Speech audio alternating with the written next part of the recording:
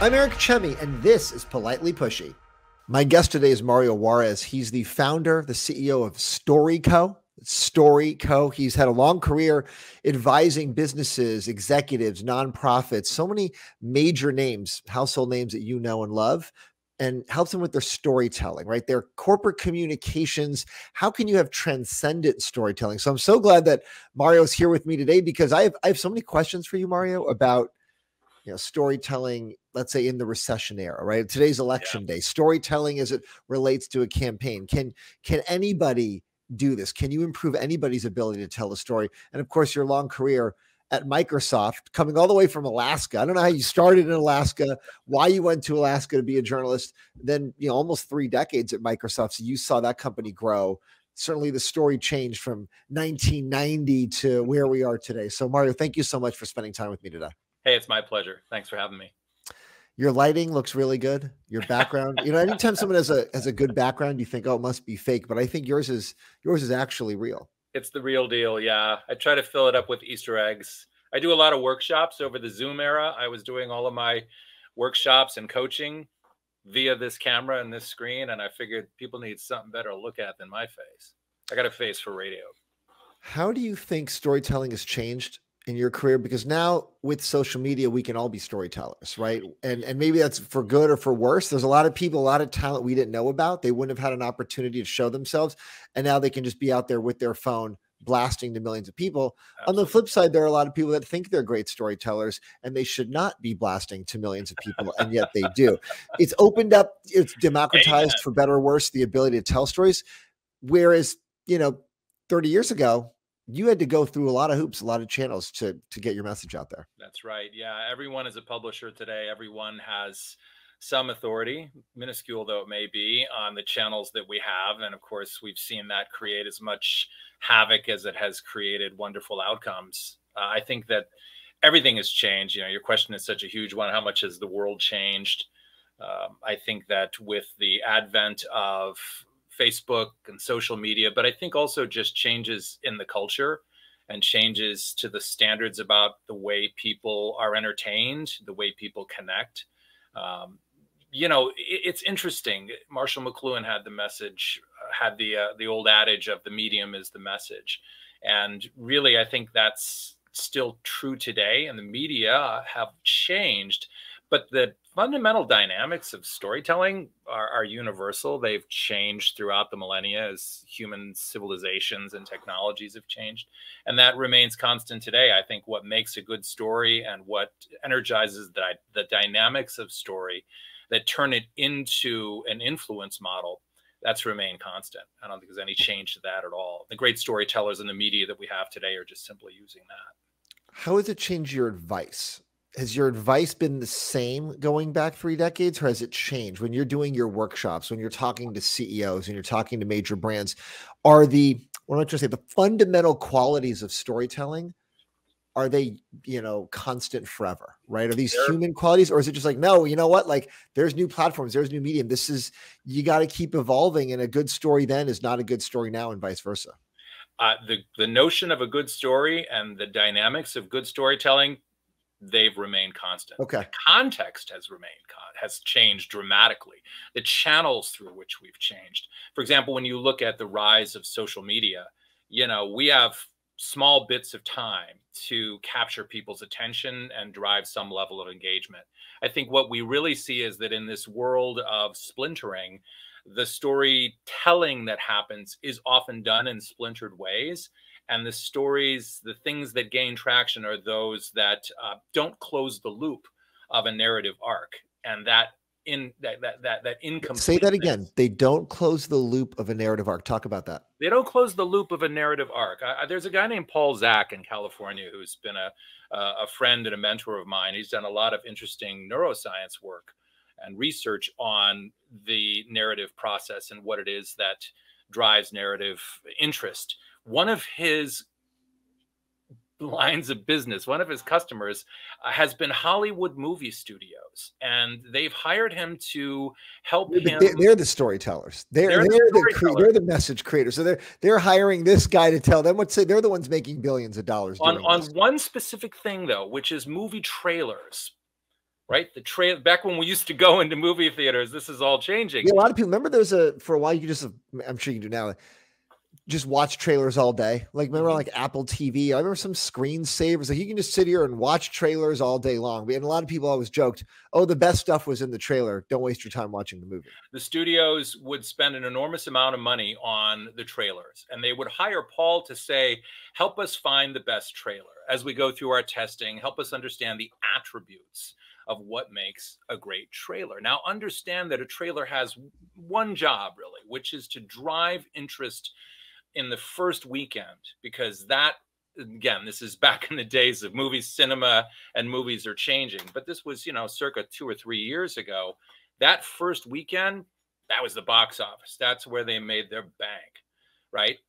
They would bring they would bring paul in to help them understand what a right what made for a good trailer. And here's what he discovered. The good trailers are the ones that open a narrative arc and they don't close it. In other words, they create this tension because they bring you into a world, they introduce you to a character, they bring about a problem, and then they leave you hanging. And that need So I need to, to go spend $15 to find out the answer even though you know that the protagonist isn't going to die even right. though you know that that beautiful young couple uh, they're going to end up together even though you know we we tend to be drawn to narratives just simply for the process of experiencing them not because there's some mystery to be solved or some information that we can't get. We're just wired to this attraction of narratives. So in this splintered world of social media that we live in Look at how many great posts, how many great tweets, how many great messages you see that offer up a promise of a narrative arc and only a little bit of information that then makes you need to be more engaged, to go to the box, you know, to go to the movie on the very first weekend and see what happens, see how that world unfolds, or simply to wait and see what the next post or the next message is, or to see how others respond to it, or to give you an invitation to respond. That's another change that we see is that the that the end user, you the person at the screen, then can become a part of the story. You join that collective experience. And this is again an ancient thing, but it's unfolding today in a different way based on the technology that we're all using to have these connections. Can anybody be good at this? I think about your decades with so many different companies, but let's look at Satya Nadella, for example, right? The CEO of Microsoft as as you left there a few years ago. You know, was he a great storyteller from day one? Was there a lot of work put into there? Can anyone especially like engineers right especially when you come from the tech world that's not what they've been trained to do. That's not let's say what they're genetically good at. They're usually good at math and programming and algorithms and working by themselves and you know the code is the story. I don't need to sell the story optically or you know using visionary approaches. I'm not that guy. I'm i'm an engineer. In the tech world especially you must find there's a little bit of this this obstacle but can anyone get there? Oh everyone's already there everybody's there. If you have a human brain and a heartbeat, you're already a great storyteller. I mean, research shows. Why are some people so bad then? Because we get into these environments, you know, we get institutionalized. And as we get institutionalized through our lives, starting at school and getting into business, we come to believe that there's another language almost, that there's different standards. We have to talk a certain way. We have to adopt a certain language. We have to conform to a certain set of rules and boundaries. And of course, this is all great and important and lovely. What happens to people, though, by my experience, is they sort of forget who they are. they kind of have these corporate speak has derailed them. I might see this. We we all see it. Press yeah. releases, PR yeah. pitches. It's like just send me an email that looks like you're talking human to human and yeah. not something that looks like 15 people on a committee wrote it for no one to ever read it. Right. And isn't it amazing that we find that so hard to do? That we find it it's actually a, a, it feels like a huge risk to just speak in regular terms and use your own words your own language. But as i say you know that's this one part of our lives in our in our working world but we all have our actual lives you know our hearts and our dreams and the things that are meaningful to us. You know the even the most like uh, introverted scientists the most the most um, you know, off on the spectrum, quiet person that you're going to meet. They're they're magnificent storytellers when you get them in their element. I mean, we tell stories all day. Research shows that we do, you know, thousands. You already today have engaged in probably over a thousand stories and the most common of them is is the daydream that lasts about 14 seconds True. we tell stories to each other we tell stories to ourselves the narratives that we tell I mean that's a whole we tell a lot of stories to ourselves about what went wrong or what could go right or what yeah mm-hmm. all the, the possibilities of mm-hmm. the future yeah often rather unconsciously and it's an interesting it's an interesting thread in its own right but to the notion of how how business people speak when I work with people, I sort of just get them in tune with their own language, their own. It's not just about language; it's about a sense of meaning and a sense of purpose, and and and a kind of a confidence to be able to be a little bit creative. Really good storytelling takes you to a place of meaning, and that creates a uh, a great opportunity for real power. It also can be a, kind of a risk because then you're into the place of vulnerability. To your question though of can I do this with anybody? Yeah, I've I've really not met anyone that I can't work with and have them become a conscious, competent presenter and communicator. Simply just introducing them to a core set of basic principles, what I call just walk away wisdom. Here's three things that you should just do. And if you do these three, three or four things, like you'll immediately be a better storyteller. Can you you'll share those with us right now? Sure.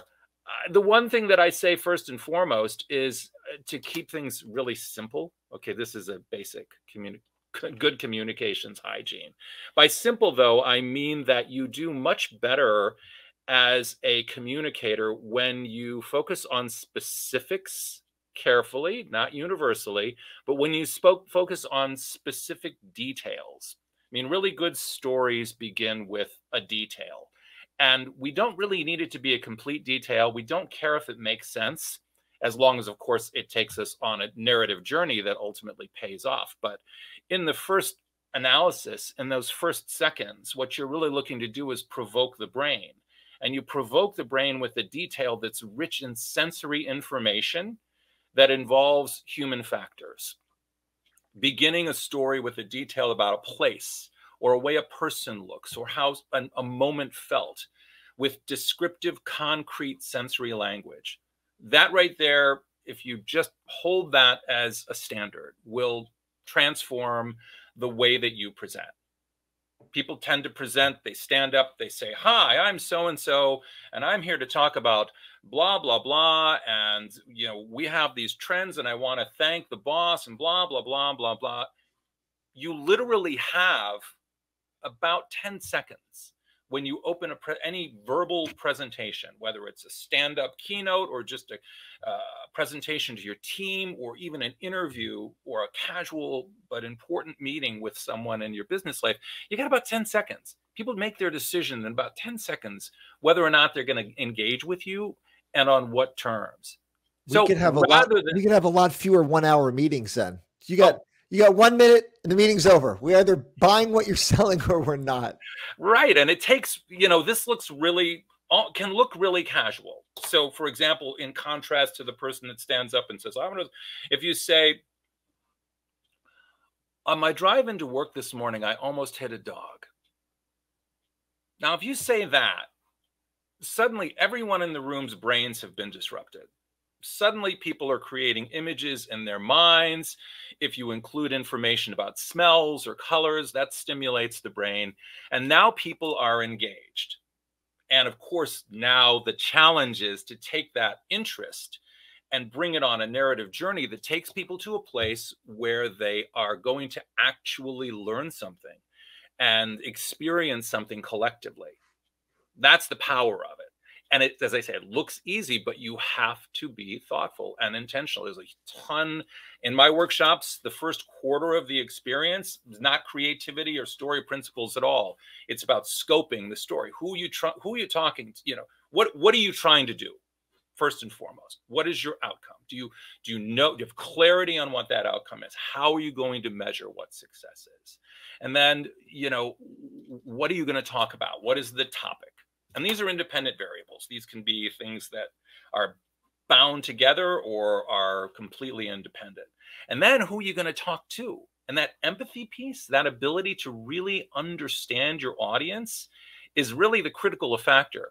When you are good at empathy then you change your reality to match what you know is going to appeal and resonate with that that audience that you're looking to influence storytelling fundamentally is a value add exercise as opposed to a personal indulgence and aren't i great exercise. So good. I'm, I'm blown away. I'm listening to this and i think the story that's in my head now is i should have started this podcast much better and we should redo it. So how let's let's use an example. How would I have started this podcast in a better way? Because I did what you said. People just go and say, Hey, I'm here to talk to you today about these trends. And I've got Mario, and Mario does this company. And thanks for coming, Mario. Right. What would have been a better way to start the podcast? Well, first of all, I would say that the way you started the podcast was fine in terms of the first 30 seconds or so, because that's expected and it's required. Hi, I'm Eric here. Let me introduce the guest. I think that coaching you, what I would say is spend in a, a, spend plenty of time researching me, the topic, and think of the first question that you're going to ask that's going to be unexpected mm, and a little bit okay. provocative. You know, you could say, "Hey, I saw, uh, you know, Mario. It's great to meet you. Listen, I was reading your, I was reading your blog on your website, and I have to know when did you and your friends set the picnic table on fire? though it's funny though the the two that stuck out to me when I was doing the research was why did you go to Alaska after you graduated? College? Why Alaska to start your journalism career? Mm-hmm. And number two, how bad was the environment in the Boy Scouts that you had to create an underground newsletter? So I I, I want to ask you that, and it's on my yeah, list. Well, why didn't you go there? See that I think that you're. But I'm afraid of derailing. I'm afraid of derailing the interview if someone is like, I wasn't ready for that, or like I was here to talk more corporate, right? Yep. You have. This is where the work comes in. You are almost using that as a gambit to bring interest in and of course to immediately provide some sense of personality and color a whole bunch of human factors in people's minds about this guy that you're talking to. Your job then is to be really thoughtful about the bridge that you're going to build from that initial discussion and you probably can have a pretty good guess of what it's going to comprise.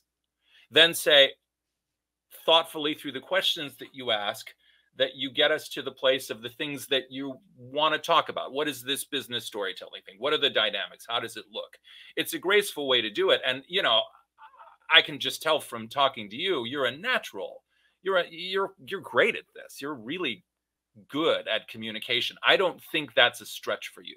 I think you almost need to be given the courage, you know, the permission to have the courage to be unexpected and to sometimes arrive in left field right say yeah. the thing and people people love that but as i say every time you break the expected then you're making a promise to your audience that you're going to pay it off later by closing one loop True. or another True. You know, it's really interesting. I don't know if you have kids, uh, but I have four little kids. The oldest is four, so it's it's okay. chaotic here. But watching their development of how they're starting to piece together stories and, and closing those loops. And understand that they if you you you, know the, the, the miracle is that you know you don't need to teach children about narrative structure.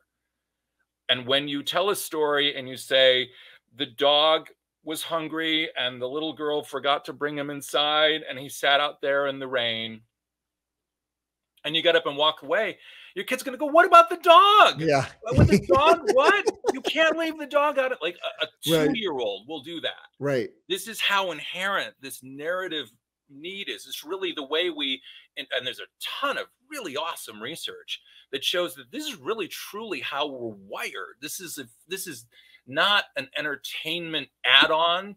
This right. is the core survival, absolute evolutionary factor. It goes to what we were saying at the beginning, right? Is this the same core human fundamental advice or has it changed? And remember you said no it's it's always the same and it goes back to just our human wiring. We need to know. It, it reminds me of we talk about unexpected having permission to go there. Who's in the news right now? Elon musk and twitter right? He's himself an unexpected character from what he says and now he's running and owning a communications platform. So that mm-hmm. has its own multiple avenues there.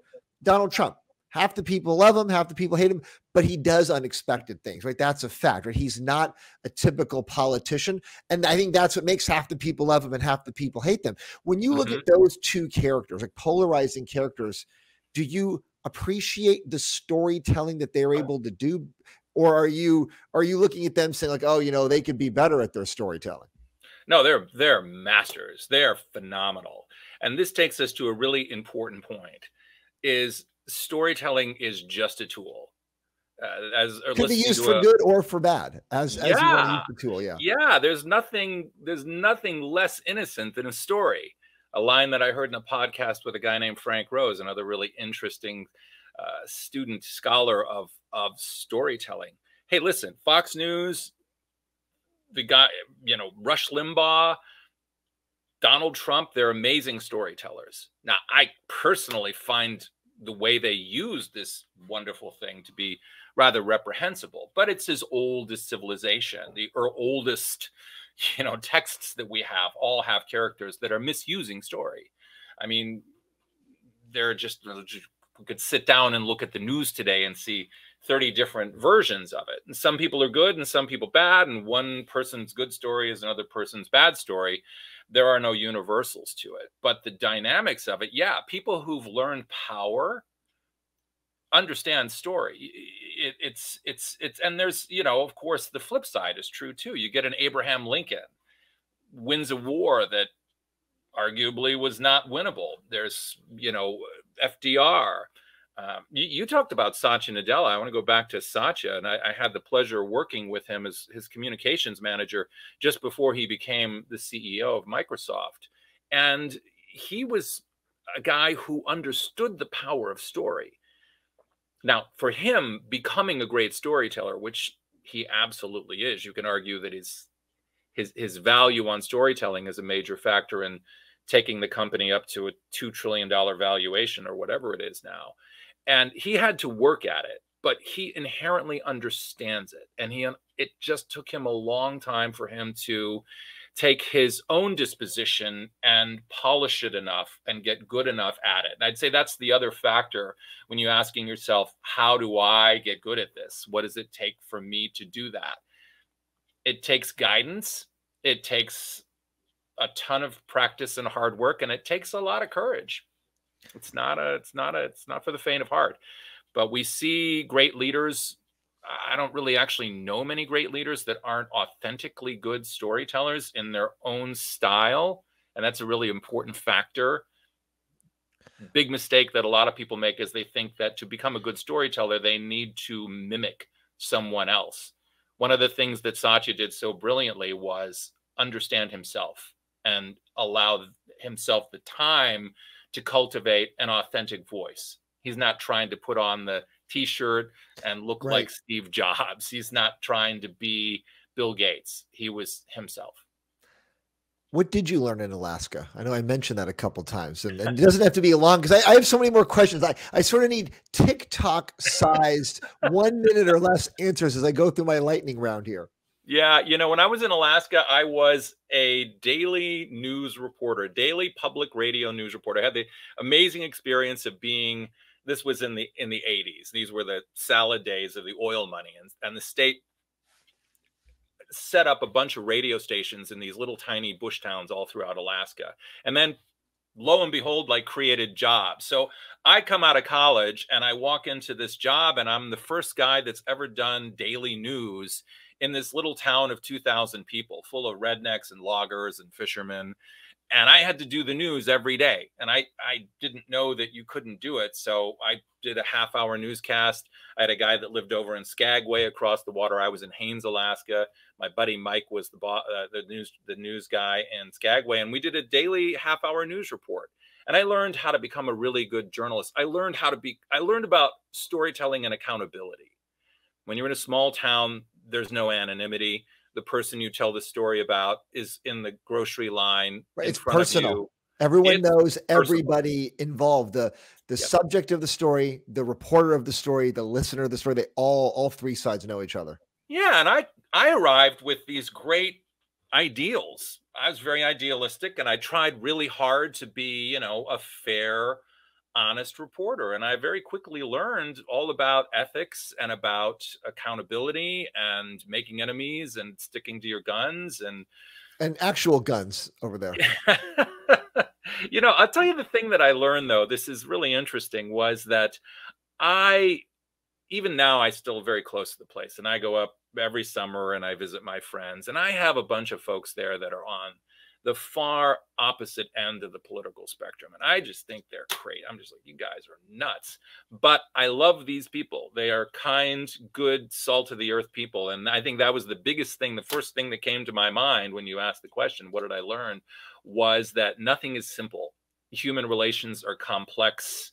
I, I, I weep and mourn. I, I deeply, deeply grieve the, the divisions in the country. I have my thoughts about why we have them but I they relate to storytelling.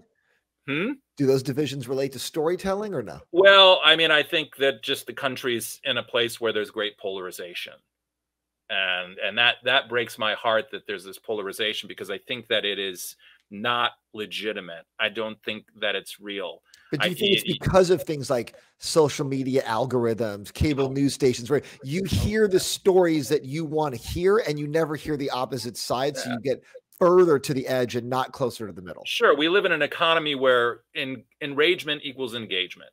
Right. So the more these right. channels can whip you up into a frenzy getting angry, they don't get you whipped up to say, let's find a solutions. They say, let's go get the pitchfork. It's and everyone you said, it's that narrative arc, right? It's actually the there's a loop missing because we didn't solve it and we want you to be the solver like you the listener the viewer with your pitchforks will yeah. solve the problem right because we didn't actually provide a solution here on you know whatever tv show or article that we mm-hmm. read the dynamic that's happening in these cases is tribalism and the need to feel a sense of belonging to something that is bigger than oneself. This is one of the reasons that storytelling is so powerful because it creates communities. Again, it's not tied to good or bad, it's just a dynamic. People today are wedded to these tribes that they've been told that they belong to. They may come out of their church, it may come out of their college or whatever. One thing that's interesting in research is that people are actually very good at spotting fake news. What they're also very good at is disregarding it in the service of a need to serve and be part of the community. Mm, the decisions that are being made today, and people go to the voting booths, they're not they're not about facts. They're about emotions and they're about a sense of belonging we have as a culture and as an economy weaponized storytelling because it's great business the side the, the sad side effect is that it's also quite ironically made people miserable and we have a huge rising deaths of despair. We have people it's so ironic right? We got these these devices and they were supposed to connect us and we've never been lonelier. I think there's an epidemic of pure despair and loneliness and solitude. We are splintered. I think that's one of the reasons why my workshops tend to be these big things that are bigger than business. I, have had a lot of people a lot a lot of people come to me after one of these things and say that was such a transcendent experience for me. I, I feel different. I see I've, I've, had people that whole careers and trajectories have changed when they finally tuned into themselves and they they realized how much noise was informing them and they ha- weren't listening to your own inner voice. To be a really good storyteller you have to be in touch with your own inner truth. And man we lose that. We're invited to walk away from that companies say just put that at the door. We'll tell you how to feel. We'll tell you what the values are when people recapture that it is empowering and it is absolutely awesome. It's you said the word transcendent, and it goes mm-hmm. to something I wanted to ask you on your site. You mentioned yeah. transactional stories versus transcendent storytelling. Yeah. It's a fundamental what, part the of difference because it feels like everything is a transaction, right? Like you said, we're all good at sussing out fake news, but when I watch a TED talk or when I see a CEO speak, I know there's a transaction behind it, right? They're sure. trying to get me to do something in their benefit. Mm-hmm. And I mean, let's be clear when we talk about strategic storytelling, we are actually ultimately looking to influence transactions, right? right? Buy the product, take this job, you know, collaborate with me, whatever the end end goal is. And this isn't cynical, this is just the way that it goes. The problem that most presenters have, the big mistake that people make, is they think that if they simply offer a description of a process or a functionality, that that will in itself be convincing. People will say, "What? Your widget does that?" and they'll put together in their own mind what the value of it is. That notion of value takes us to this place of what is transcendent. And transcendent is how does human experience change because of that thing that you built, the widget, the, the product, the new feature. People are much more engaged by understanding, you know, my, my definition of a story is a story is an experience of human transformation. That's what we really care about is how did a person change when something bad happened, when there was a problem or a stress when you have a transactional story, it's all about that human experience. Your product, in a business sense, or your thing, your topic, is usually never the center of attention. It's a catalyst. It's the thing that makes the transformation possible. You can also have a great story about what happens if your thing isn't there and the transformation is disastrous. Very good. I like that you that you break that down. As we get into let's call it the recession, clearly growth isn't what it was recently. Storytelling is going to play a big part because people are looking companies are looking to spend less but get mm-hmm. still good results. And how how are the stories going to change or how do they need to change to resonate? Hey, we're in a recession okay, like the COVID was a good example. If you weren't talking about COVID, nobody wanted to hear your story, right? No matter what your product was or what your industry was, how did it relate to keeping people safe or your employees safe or we're open for business or we're not or whatever? But it related to COVID. It feels like a lot of it's going to move in this mm-hmm. recession era. How yeah. are you how are you advising companies to adjust what they're talking about, how they're talking about? Well, I, I think that they have to be hyper focused on value and understanding value as a as a comprehensive concept. It's not just about return on investment or uh, the, the, quality, the cost of lower cost of goods or cost, you know, those things. Value is about how humans experience what you're offering and you, the stories that need to be told need to be hyper focused on an understanding of what that let's say that it's a story to your customers and you're looking to, to tell stories from a marketing and a brand point of view. Well you you better know your customers you better really hyper focus and it's not cynically just about putting you know lipstick on the pig of your product you need to know your customers so well that if you recognize that your stories aren't good that you change your reality so the stories become good storytelling in that sense is a sort of an important litmus test. If you have great stories, it's easy to find story. Find, you know, go talk to your customers and ask them what their hopes and fears are and how does what you offer inform those things, either, you know, make them better or worse. And you begin there. You, you, you, you, you, you focus on the customer first. Then you look at the human experiences surrounding your customers' uh, interactions with your product or the lack of what's happening in their life if if your product doesn't exist there you tell those stories that will that will light up your customers attract their interest and drive their engagement but note that you are not beginning with a description of the transaction which is your product the thing that you do the money you know that is that is the default the other factor too is I think people are going to have to focus more on this. This we've lived in a world, you know, when come when the economy is big and booming and you got virtual monopolies all over the place.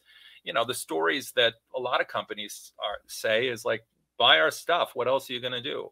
I think that great innovation happens during recessions. I mean, this history proves this that great companies are born in the middle of recessions. So I think it's actually a time for a huge amount of opportunity. It could be um, big opportunity to do new things. Yeah. And then lastly, how should a company put it all together, right? Storytelling is one piece of a broader communications plan, PR, marketing, all of that. How does it how does it all mm-hmm. fit together? well understand what you just said the truth of that that you really do need to be thoughtful about it this isn't an add-on this isn't something that and i'm talking comprehensively just about great communications it's not something that your great people are going to do in their spare time if you're serious about it you you you need to you need to bring in professionals.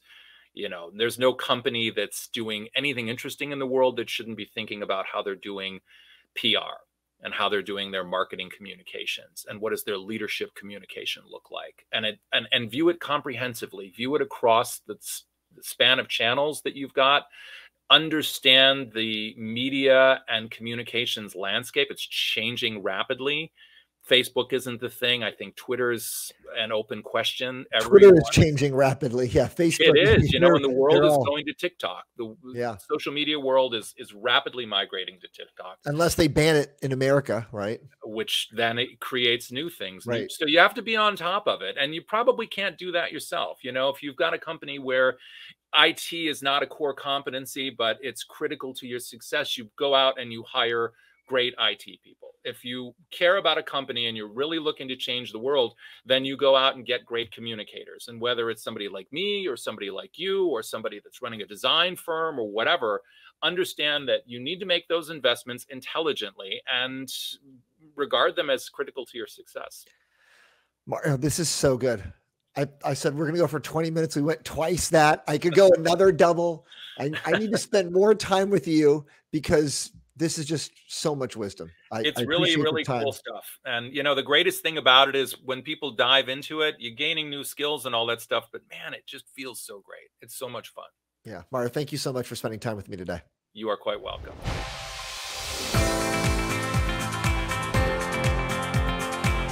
Thank you to my guest, and thanks for listening. Subscribe to get the latest episodes each week, and we'll see you next time.